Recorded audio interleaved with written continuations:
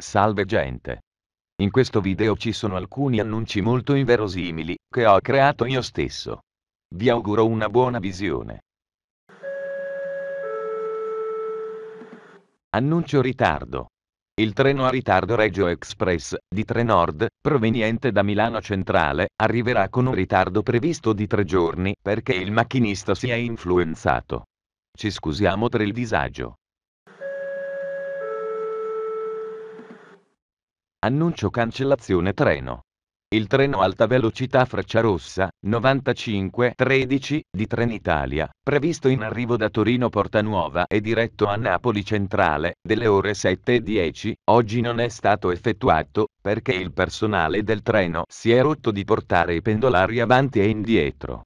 Mi scuso per il disagio, ma loro no.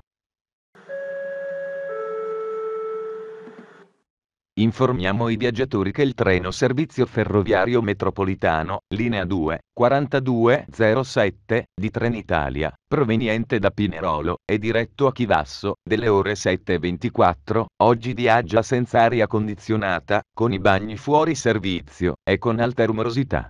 Questo perché è un convoglio composto da locomotiva 4, 6, 4 in testa e rimorchiate PR Farini. Non ci scusiamo per il disagio, perché negli anni 70 queste carrozze erano il top del top. Informiamo i viaggiatori che sui treni regionali e regionali veloci composti da carrozze medie distanze, se volete l'aria condizionata, dovrete farvi la doccia per tutto il tempo del viaggio, perché i tubi di scarico dell'acqua sono rotti. Trenitalia si scusa per l'inconveniente. Informiamo i viaggiatori che se si vuole scendere dal treno nella stazione di San Giuseppe di Cairo, bisognerà fare un salto di un metro perché la banchina è troppo corta per tutto il convoglio. Se siete in sedia a rotelle sono cazzi vostri. Il dirigente movimento si scusa per il disagio ed è pronto a prendere a calci chi ha qualche lamentela. Cervia. Stazione di Cervia.